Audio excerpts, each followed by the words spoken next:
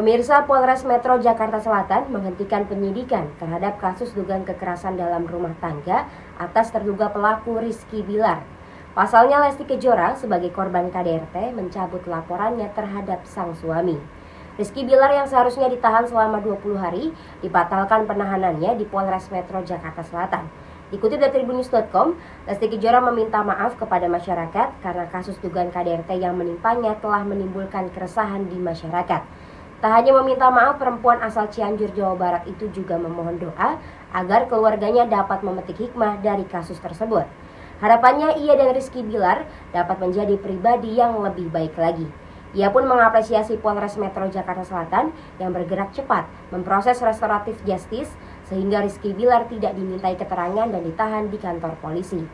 Pengacara Rizky Bilar, Pilipus Sitepu mengatakan, kliennya dan Lesti Kejora sepakat berdamai.